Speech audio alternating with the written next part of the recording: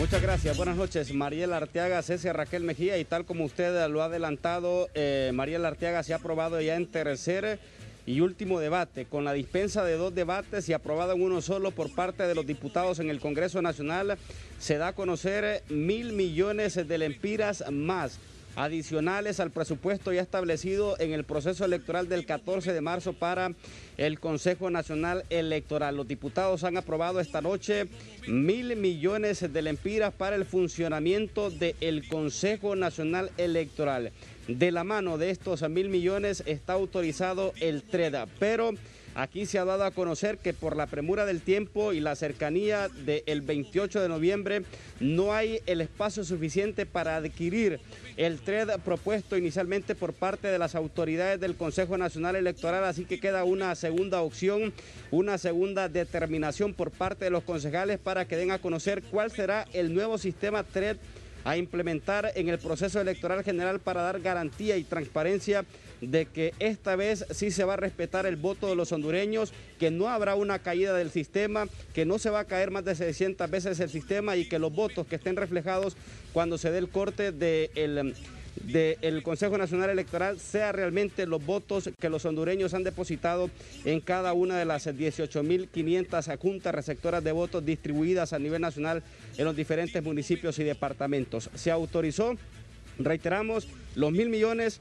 las compras directas para la adquisición del equipo de El Pero también se ha aprobado por eh, eh, parte de los diputados en el Congreso Nacional reforma a 10 artículos. Se han reformado 10 artículos de la nueva ley electoral. La ley que hace un par de meses ya fue publicado en el diario oficial La Gaceta, han reformado 10 artículos y varios de estos artículos generan polémica.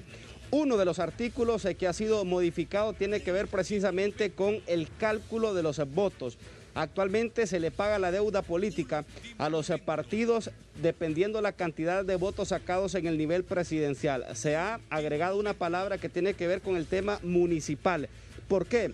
Ahora también se podrá hacer un cálculo a través de los votos que se den en las corporaciones municipales y así poder obtener una mayor cantidad de deuda política por parte de los partidos que saquen mayor cantidad de marcas en el proceso electoral del 28 de noviembre. Pero también otra de las reformas que generan polémica en el Congreso Nacional y que ya ha generado reacción por parte de diferentes partidos políticos. Hablamos que los 11 partidos políticos restantes que no fueron al proceso electoral del 14 de marzo ya están brincando por la reforma al artículo 254 que tiene que ver con las papeletas electorales. ¿Por qué?